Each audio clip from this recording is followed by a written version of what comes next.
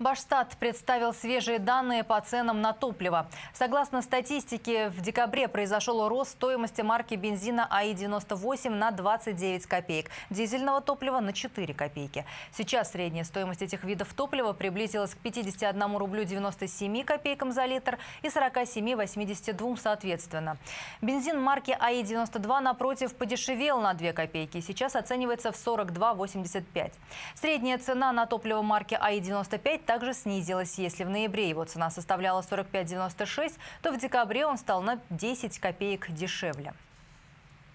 Повышение оптовой цены в связи с повышением акцизов, э, соответственно, дало э, на рознице тоже свои э, колебания вверх.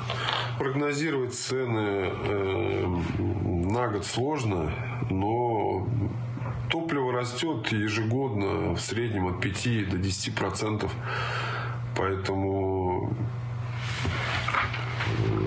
поэтому однозначно не будет никакого спада. Таким образом, сравнение цен на декабрь 2020 года с ценами декабря 2019 прирост составляет от 2 до 3,6%.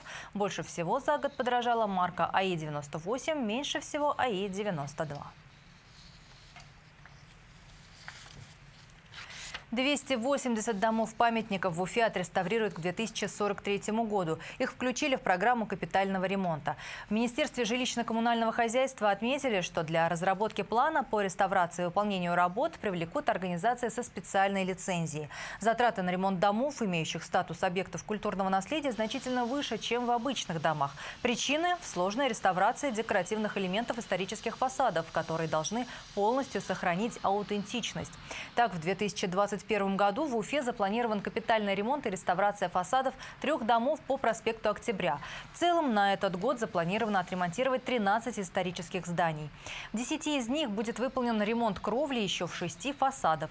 Напомню, в 2020 году в Уфе насчитывалось 874 объекта культурного наследия, из которых 330 включены в реестр, а 544 относились к категории выявленных.